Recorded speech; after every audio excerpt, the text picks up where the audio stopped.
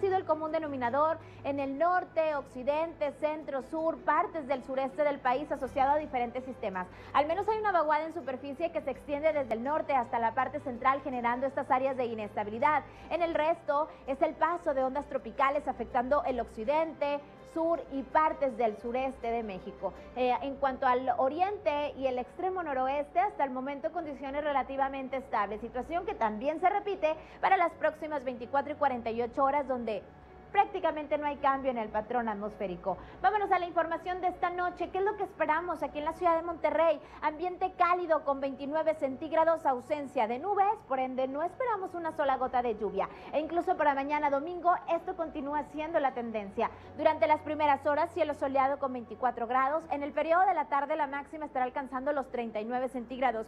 Un ambiente sumamente caliente. Es importante que se mantenga muy bien hidratado, que proteja su piel de los rayos solares y que evite exponerse al sol entre 10 de la mañana y 5 de la tarde, porque esta ola de calor le adelanto que no nos va a dar tregua alguna, incluso es la tendencia para la siguiente semana.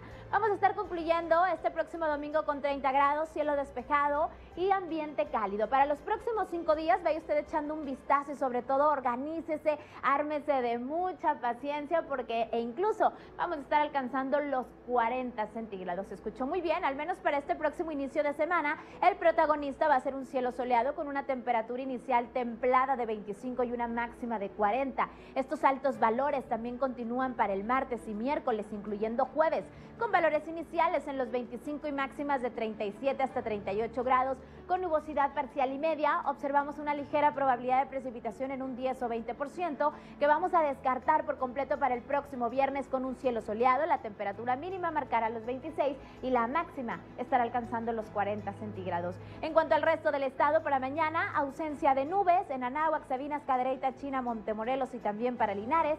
Temperaturas iniciales entre los 24 y 25 y máximas de 38 hasta 40 grados. Para Galeana, si el ambiente se torna un poquito más amigable, 17 con 32, con un cielo soleado, pero de igual manera no hay pronóstico de lluvia. En el área metropolitana prácticamente no hay mucho cambio, cielo despejado, valores iniciales en los 23, 24 y máximas que oscilan desde los 37 hasta los 39 centígrados para General Escobedo, San Nicolás de los Garza, Santa Catarina, San Pedro Garza García y también en la ciudad de Guadalupe. En cuanto a la fase lunar, le platico que todavía estamos en una creciente, pero precisamente este sábado 4 de julio a las 11 de la noche con 44 minutos vamos a cambiar de fase lunar y cambiamos precisamente a la luna llena. Hasta aquí mi reporte del pronóstico del tiempo. Los espero un poquito más adelante. Quédese con nosotros.